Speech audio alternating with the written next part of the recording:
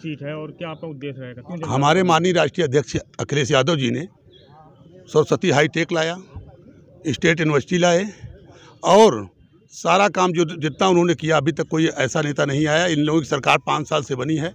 आप जाकर के करेली में देखिए दो आदमी रोड मर रहे हैं। दो आदमी डेली मर रहे हैं। सड़क इतनी खराब है गड्ढे से वो हुआ है।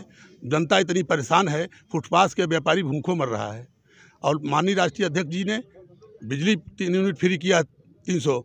लेकिन उन्होंने कहा है कि जिस दिन मेरी सरकार बनेगी मेरी बात हुई उन्होंने कहा जिस दिन मेरी सरकार बन जाएगी उसी दिन ऐलान कर देंगे।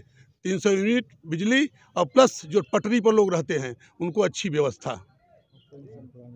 हम विकास हमारी सरकार हमारे राष्ट्रीय अध्यक्ष जी का नारा है कि विकास पर सरकार बनाएँगे। हम लोग विकास करने की। पेंशन जो पुरानी पेंशन है उसको बहाल करेंगे। लोग करते थे उनका पेंशन हाँ? अपने पचे रहिए। मैं चंद्र शुक्ला समाजवादी पार्टी का एक कार्यकर्ता हूँ।